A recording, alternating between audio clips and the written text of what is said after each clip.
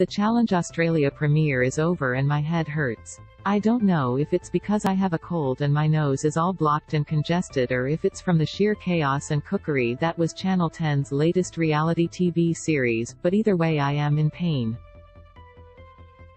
I say this not to elicit pity and empathy, but because I imagine it's a similar kind of torment which the Challenge Australia's contestants experienced in this clusterfuck of an episode.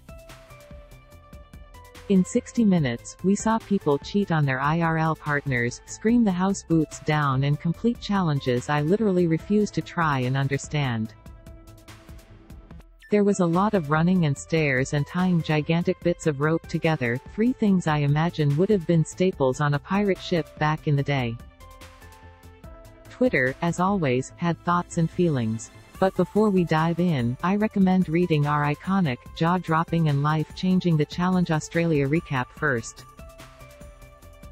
All caught up? Good. Let's begin. The first mind-boggling nugget of drama came by way of former reality TV girlies Cyrell Paule, Married at First Sight, and Audrey Kanongara, Love Island, going balls to the wall over the etiquette of dibsing a bed. Cyclone Cyrell as she's known because, well, she kind of has a track record for unleashing hurricane-level sprays at folks, was the one to kick off. Basically, Audrey whacked her heels on a bed to bags it and Cyrell fanged a t-shirt over said heels to prove the mattress was, in fact, hers for the sleeping. Cyrell started screaming at Audrey that the first challenge was to dibs a bed using a t-shirt given to them by the Challenge Australia.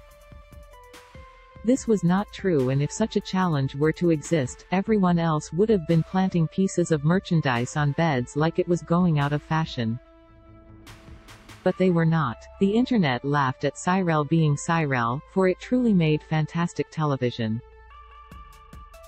Sleeping arrangement tantrums done and dusted, it was time for contestants to buddy up.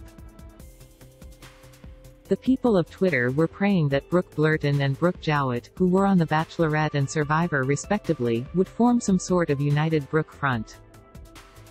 People were also just losing their nut at the fact Brooke Jowett was back on their telly screens. I've never been a Survivor girly so I have no opinions on the matter but I love the enthusiasm. The challenges started and they were what one would expect from a television show called The Challenge Australia. For some reason contestants had to run up and down stairs at a stadium and drop big colored discs on a mat. Did it make sense? No. Was Twitter sitting on their ass watching this rogue fitness challenge at home? Yes. Arguably the pièce de résistance of the episode was Ciaran Stott announcing he wanted to leave his root ratting ways behind him and prove to the world he's a changed man. He even gave a special shout-out to his gorgeous girlfriend Ruby Burciaga cute. Unfortunately, several minutes later he hopped in the shower with Audrey and the pair fooled around. I refuse to understand what this could mean. Ciaran announced last week he was going sober because some of the biggest mistakes I've made in life come when I consume alcohol and drugs. I genuinely hope it works out for him and wish him all the best, but the comedic timing of bidding adieu to your root rat ways and then hopping in the shower with Audrey, who, let the record show, also has a partner at home, is impeccable. Twitter agreed this was superb.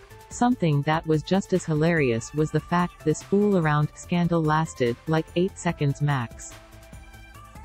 I'm genuinely not even joking. Ciaran joined Audrey in the shower, he hopped out a few seconds later, then they both delivered YouTube influencer-style apology videos by way of confessionals. Jeffree Star has been found shaking. In two shakes of a lamb's tail, it was time for an elimination challenge, which basically consisted of two teams tying ropes into a yuge mess, and then unraveling the other team's knots. It was Cyrell and Australia's Got Talent's Jack Vidgen against Suzan Mutesi, who is apparently an actress and influencer, and boxer Billy Dib. The internet didn't want Cyrell and Jack to skedaddle, cause they're noted tea and drama bringers. And guess what? Cyrell and Jack won. Messiness and chaos stay winning, folks.